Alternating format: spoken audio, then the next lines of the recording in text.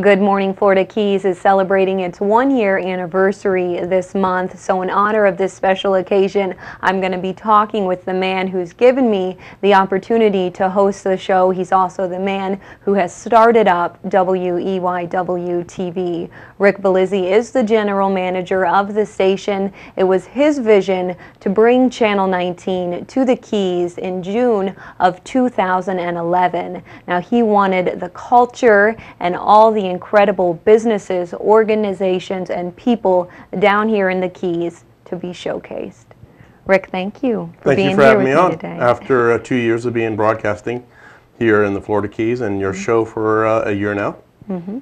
And uh, we're going a lot of places here in the near future. Yeah. Now, Rick, as I mentioned, you brought this station to Key West because you really wanted to be able to showcase the lifestyle down here in the Keys. Why did you feel it was so important, though, to have a TV station here? Uh, because we weren't being represented by the TV stations in Miami. Uh, there's uh, 22 stations in the Miami area, and they focus on uh, Dade and Broward County.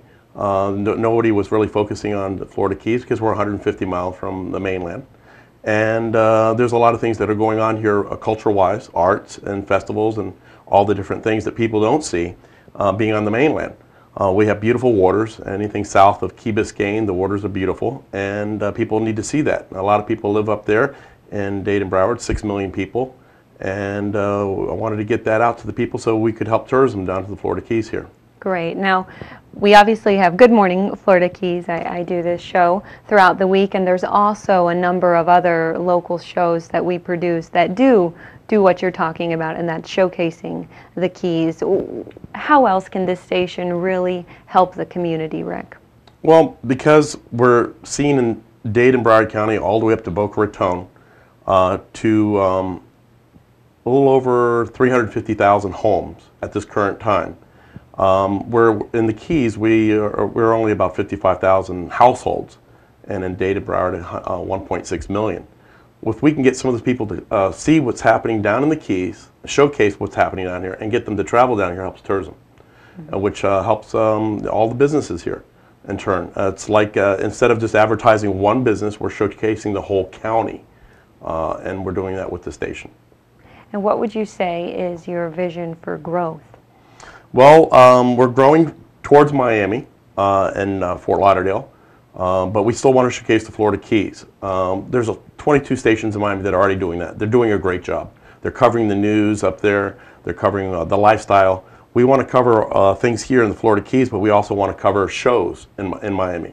Uh, the stations in Miami don't cover shows. They don't produce shows. Uh, they show uh, network advertising, uh, network programming that comes in from like ABC, NBC, CBS, Fox, the CW network, and the ION. All those networks, they get the network feed. What we want to do is go up there in Miami and create shows. And uh, that's our future uh, growth in, into Miami area to do that.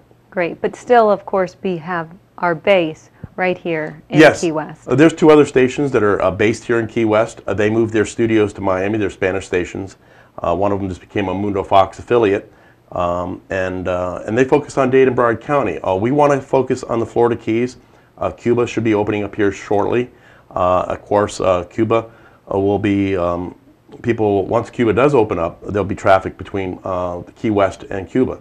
Uh, air traffic, uh, our airport is getting uh, uh, designed and about ready to open to have air, air traffic to Cuba. Mm -hmm. Well, hopefully that happens here soon. We'll, we'll yes. definitely keep po people posted here on the station. Now, Rick, another thing that WEYW does is it broadcasts not just on television, also online, and that's really where television seems to be moving to. Yes, I saw that coming. Um, being in the cellular phone uh, business in 1996, launching Nextel in, uh, in Miami and Fort Lauderdale, uh, you know, and then Metro PCS in 2002, and being in the industry where the device, you can watch your uh, programming on your, your cell phone. Um, the cell phone's just not a telephone anymore. You can watch television on it and so forth. It's going to your TV, it's going to your computer. So television is going to the internet. And we were one of the first TV stations in the country um, to broadcast on the internet while we're broadcasting on, on over the air to the cable system. And uh, because of that, we've got more viewers watching worldwide than we do locally in South Florida. Well, how's that? Because the internet is worldwide. Uh, we're connected to 350,000 homes. That's all we're connected to in South Florida. The internet well, is the, is the world. Anybody that has the internet can watch it. So how do we promote that? We use our TV station to promote our website using our advertising source, television, to promote our, promote our website. We also use Facebook. Um, we have 13,000 people on our Facebook account. So we send out broadcast messages on our Facebook account to watch it on the internet. And as people travel to uh, the Florida Keys, they see, uh, watch us on www.weYW19.com.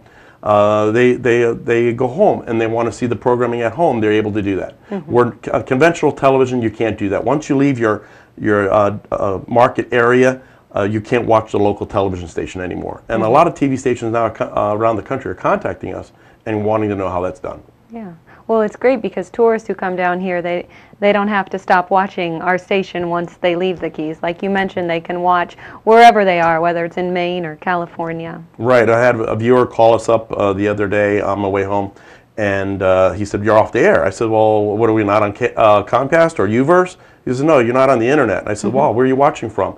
Uh, San Diego, California. I said, "Wow, uh, that's amazing." Uh, so you're watching us on uh, on a computer? He said, "No, I'm watching on the phone." So uh, of course, I had to get us back up on the air on the internet so that people could continue watching us on the internet. Great. So, being shown here on Channel 19, you also have the chance of not just being watched here in the Keys, but being watched worldwide. And Rick, I know that there's still opportunities for many people who might have a show that they want produced or to be shown.